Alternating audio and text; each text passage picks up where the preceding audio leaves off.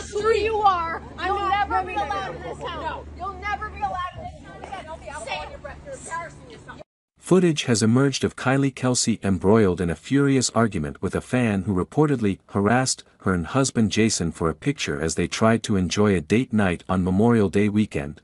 The clip shows Travis Kelce's brother and sister-in-law being confronted by the woman outside a New Jersey restaurant as she shouts at Kylie, I don't give a who you are, you'll never be allowed in this town again. Kylie can then be heard saying, I can smell the alcohol on your breath, you're embarrassing yourself. Jason can be seen taking a back seat as his wife shuts down the drunk fan in a video which has gone viral on social media. Users were quick to leap to Kylie's defense on X. Insisting the woman in question did not have any grounds to harass her and Jason as alleged, nor shout at the couple after being turned down, one wrote, People are so entitled that, imagine, crashing out for not getting a picture with Jason Kelce lol, said another, a third put, Kylie did what needed to be done, I'm loving the Kelces even more day by day. Dot, a fourth commented, they don't owe fans anything.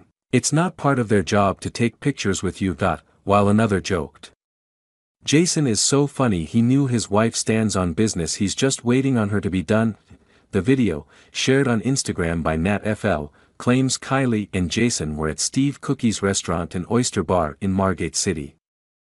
New Jersey, when the incident took place, they are said to have been in traffic when the fan approached asking for a photo, before Kylie politely rejected her advances.